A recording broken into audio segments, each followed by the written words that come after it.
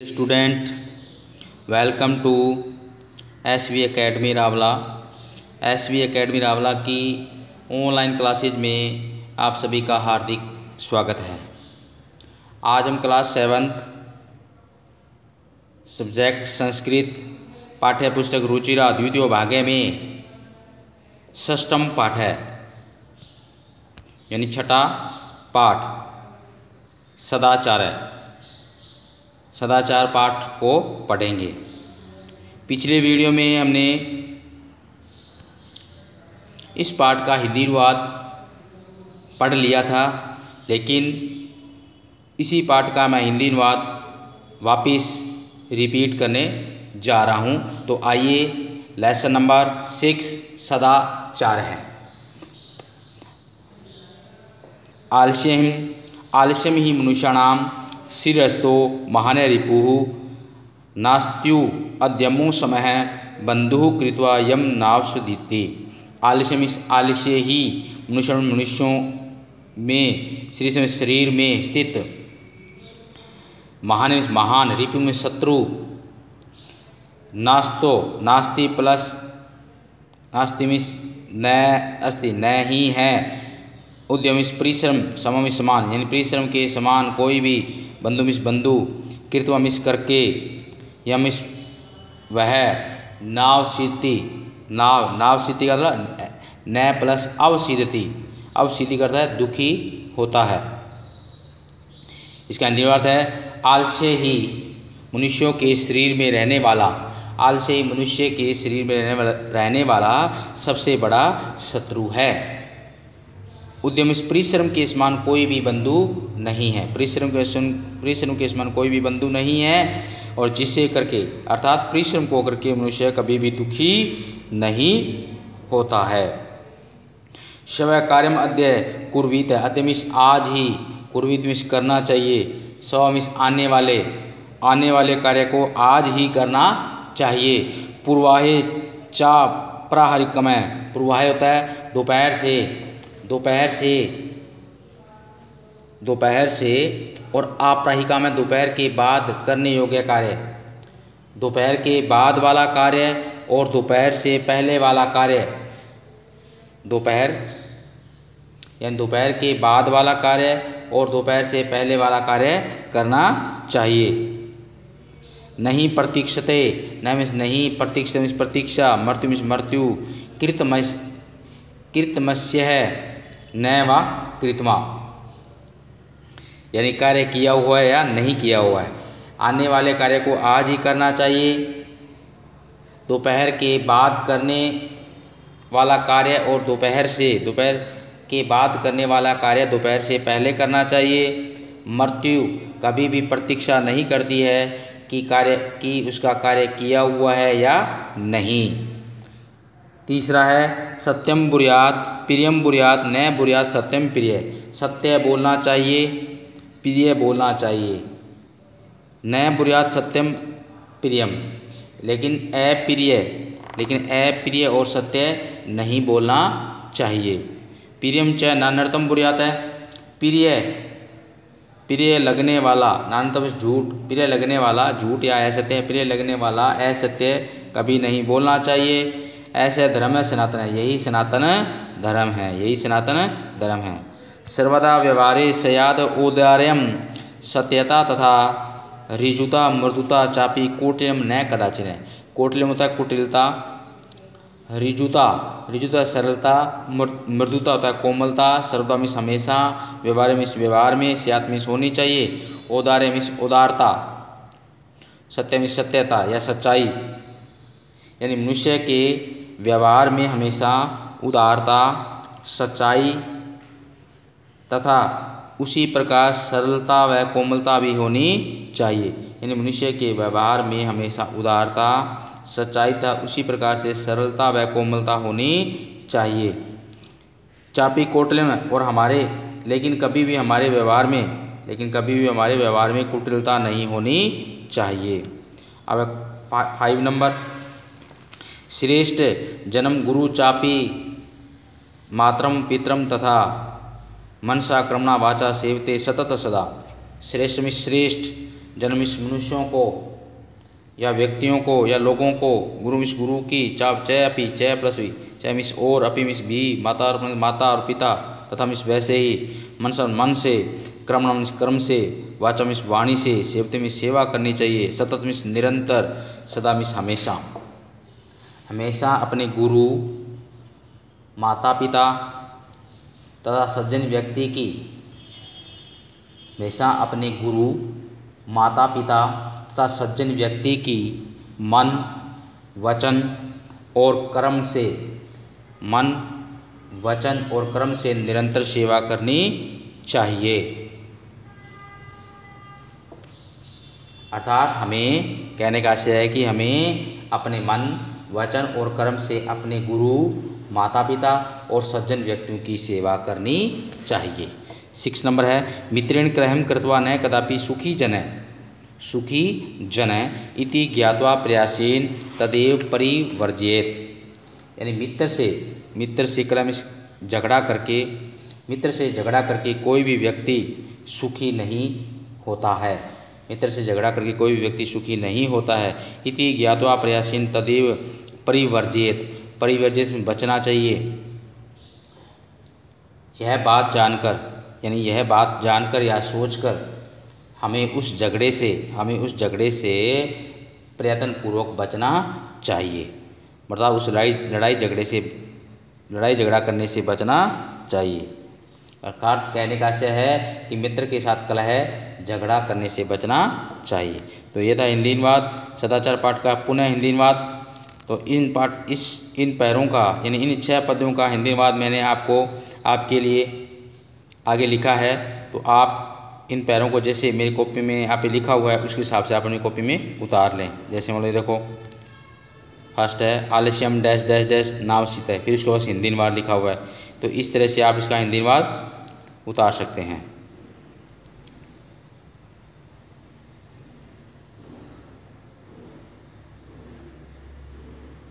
ये दूसरे का है। शवय डैश डैश कृतम।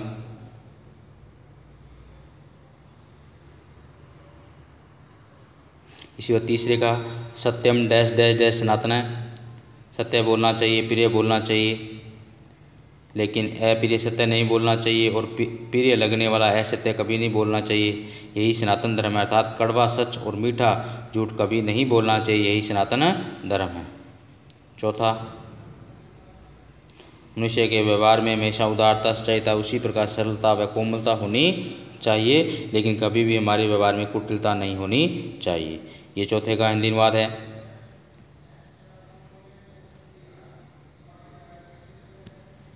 उसके बाद पाँचवा।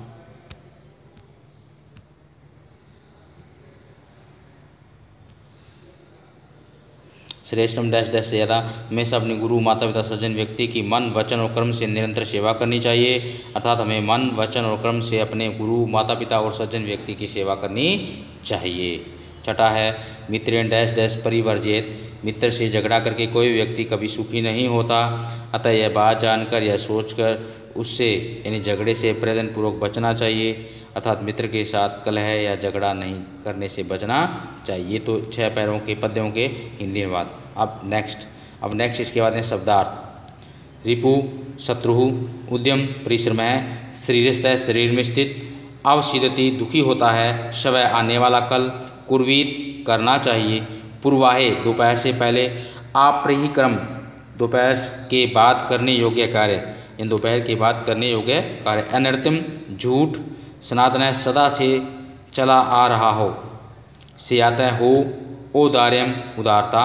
रिजुता, सरलता मृदुता कोमलता, कोटिलम, कुटिलता या टेढ़ापन, सेवते सेवा करनी चाहिए, परिवर्जित बचाना चाहिए और वाचामिश वाणी से।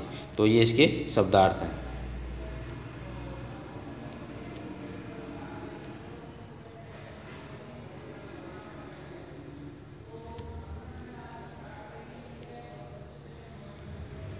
तो आप सभी बच्चे अपनी पाठ्य पुस्तक से लेकर पाठ्य पुस्तक को लेकर अपने शब्दार्थ उतारे। अब नेक्स्ट अब इसके अभ्यास प्रश्न है आज। अभ्यास प्रश्न हम आज चार ही अभ्यास प्रश्न करेंगे।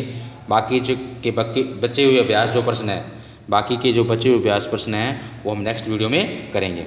तो पहला प्रश्न है सर्वानी श्लोकान सह सुर गायत है तो गाने हैं तो हमने ये पढ़ चुके हैं, पहला क्वेश्चन नहीं करना है। दूसरा है, उपयुक्त कथनम, कथनाम समक्षम उपयुक्त कथनों के सामने आम और अनुपयुक्त जो गलत कथनों के सामने नया लिखना है। जिसे प्रातःकाले ईश्वर स्मरित, प्रातःकाल ईश्वर को स्मरण करना चाहिए।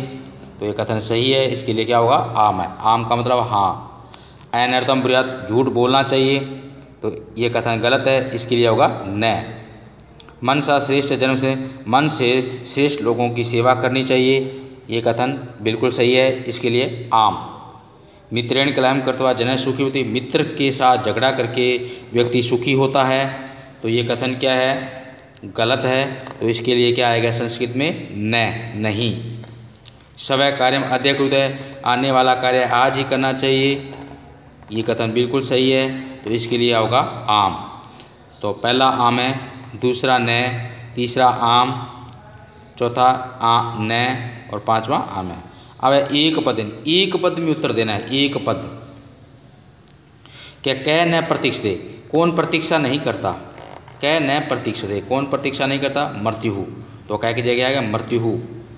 सदा कदा व्यवहारिक से सत्य से सत्य से कब सत्यता सत्य से कब व्यवहार होना चाहिए? हमारा व्यवहार कैसा होना चाहिए? सर्वदा, हमेशा हमारा व्यवहार सत्य से परिपूर्ण, हमेशा हमारा व्यवहार अच्छा होना चाहिए। सर्वदा, हमेशा ही।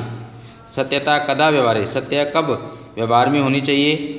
यानी सत्य जो सत्य जो बोलते हैं, वो व्यवहार में कब होनी चाहिए? सर्वदा हमेशा ही होनी चाहिए। अब किम बुरियात क्या बोलना चाहिए? सत्यम बुरियात है। सत्य बोलना चाहिए। किम बुरियात? सत्यम बुरियात है। कीन कह, कीन शह कलम करतवा, नर सुखी न भवेत। किसके साथ झगड़ा करके व्यक्ति सुखी नहीं होता? केन के साथ मित्रेण। केन तृतीय व्यक्ति एक वचन तो इसलिए मित्रेण की, मित्र शब्द की तृतीय व्यक्ति मित्रेण। कह, महारिपु अस्माकम श्री कौन महान शत्रु हमारे शरीर में तिष्ट है, रहता है। क्या ये कालस्यम, आलस्यम महान शत्रु हमारे शरीर में रहता है। तो पहले का आंसर हो गया मृत्यु सत्यता कदा व्यवहार से आता है? सर्वदा। किम बुरी है? सत्यम। केन सैकलम कृत्वा नर सुखी न मित्रेण। और कै महारिपु अस्माकम श्री तिष्ठति? आलस्यम। क्वेश्चन नंबर फोर रेखांकित पदानी आधृत रेखांकित पदों को आधार मानकर प्रश्नों का निर्माण करो। अब मृत्यु न प्रतीक्षित, मृत्यु के नीचे रेखांकित किया मृत्यु इंतज़ार नहीं करती तो कौन इसका हिंदी में प्रश्न है, कौन इंतज़ार नहीं करती? तो कह न प्रतीक्षते।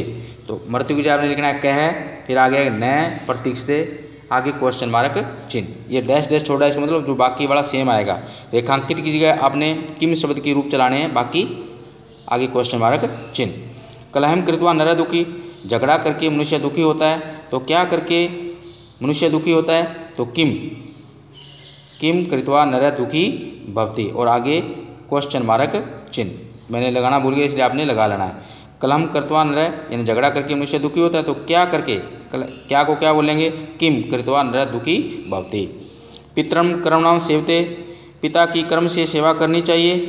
यानी किसकी कम कम कर्मणाम सेवते, कम कर्मणाम सेवते। पितरम की जगह कम। पिता शिव की द्वितीय व्यक्ति है, एक वचन तो किम शिव की द्वितीय व्यक्ति कम कम कर्मणाम सेवते और अंत में क्वेश्चन मार्क चिन्ह। व्यवहारिक मधुरता श्रेयसी। व्यवहार में मधुरता होनी अच्छी है। व्यवहार में मधुरता होनी अच्छी बात है। तो व्यवहार में क्या होना अच्छी बात है? तो का। मधुरता शब्द स्त्रीलिंग।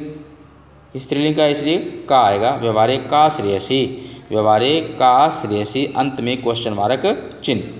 सर्वदा व्यवहारिक रिजुता विधि हमेशा व्यवहार में सरलता हमेशा व्यवहार में सरलता होनी चाहिए। कब व्यवहार में सरलता होनी चाहिए? सर्वदा तो कदा। कदा व्यवहारे रिजुता विधेय। तो ये था रेखांकित पदों को उदाहरण में प्रश्नों का निर्माण करना।